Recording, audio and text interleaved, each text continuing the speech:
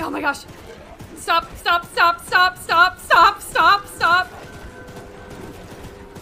Go somewhere else.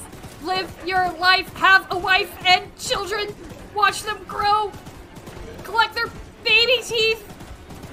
Do they also have fangs like you?